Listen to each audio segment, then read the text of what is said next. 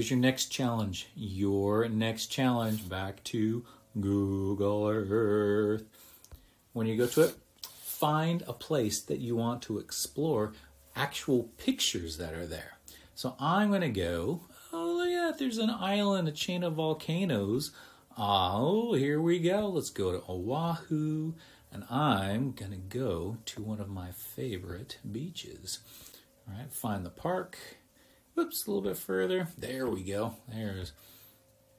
Yep. And so now I've got my park. And then if you look over here and you see this little person standing here, well, if you press that person, then you can do what's called street view.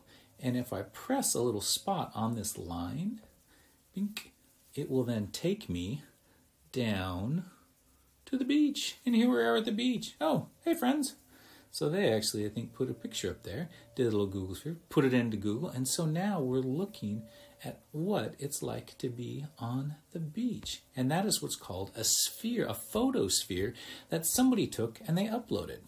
Now, there's another spot, if you come back and you select the line again, notice how they had those dots? If I just press on the line itself, then it's going to take me and I can actually walk around I can actually move on the beach. So I'm simply using my finger. Oh, look at the sand. Oh, what's down that way? If I press this little arrow, what do you think's going to happen? Mink.